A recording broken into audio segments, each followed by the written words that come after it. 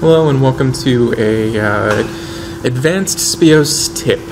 Um, my name is Chris Kennedy. I'm an application engineer at Optis North America, and today I'm going to talk to you guys about the an alternative us- usage for uh, the Speos component.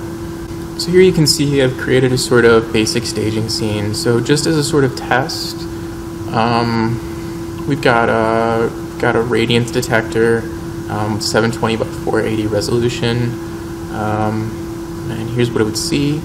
And then we've also got a uniform source. Uh, and just to sort of test things out, we're going to go ahead and run an inverse simulation for 10 minutes just to see what it should look like.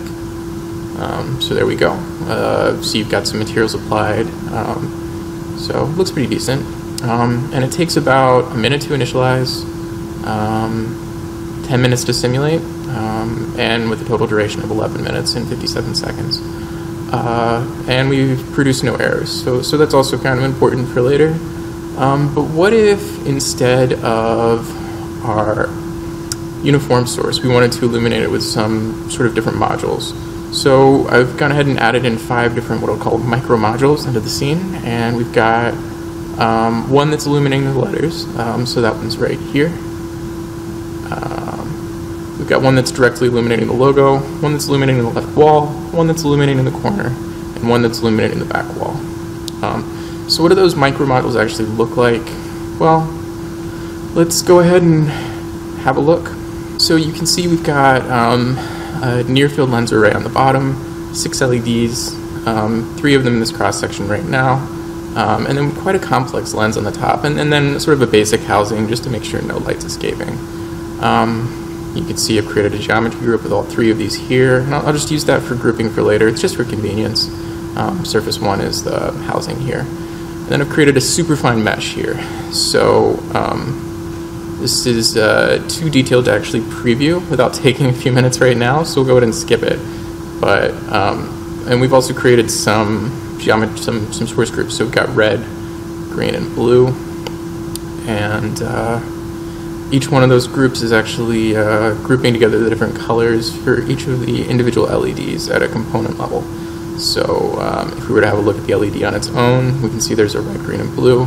So let's go ahead and have a look at what our simulation looks like. Um, you might expect with a super dense mesh and um, all these things going on, it's going to take a few minutes. So we ran another 10 minute simulation just as a test, and um, it doesn't look very good. It's very um, sort of grainy.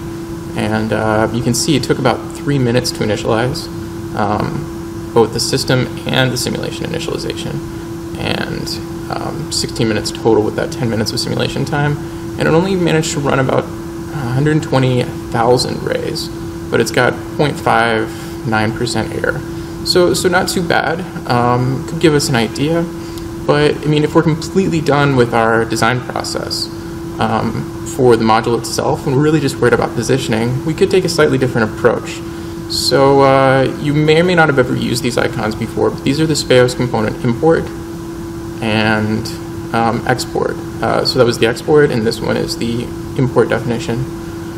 Um, so I've gone ahead and set these up. These do take a few minutes the first time that you run them, but you see I've got my um, geometry group, my source group added here, um, and then I've got my, um, uh, you have to update that one and run it, and then you get an SP5 file that you can put into the import group, and that creates a sort of basic mesh outline for the whole scenario here. And, and I've gone ahead and regrouped the sources again because those do get separated out um, when you export it and import it. Um, so just so that everything's the same.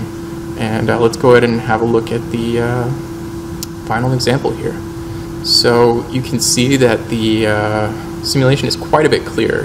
Um, and let's just make sure that I set everything up equally. So you can see the initialization time much quicker. Um, but the simulation time is identical. And uh, we're running quite a few more rays here um, at the same time as having about the same error percent. So basically, everything is sort of equivalent except that with the export and import functionality, um, we actually uh, get quite a bit more efficiency. So let's just compare those ray counts. So we've got about, oh, it looks like 17 uh, million rays here versus something like uh,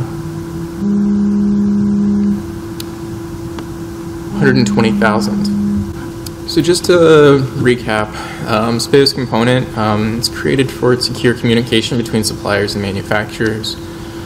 Um, it creates an encrypted mesh of geometries and it can, it can include source information. Um, and then, uh, since it creates the mesh, it can also be used to skip the initialization of geometry, which can be useful for dense meshes.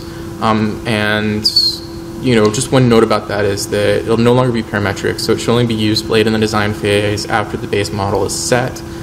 Um, but in combination with geometry and source groups in Speos, Speos component export and import can be used as a tool to improve your workflow.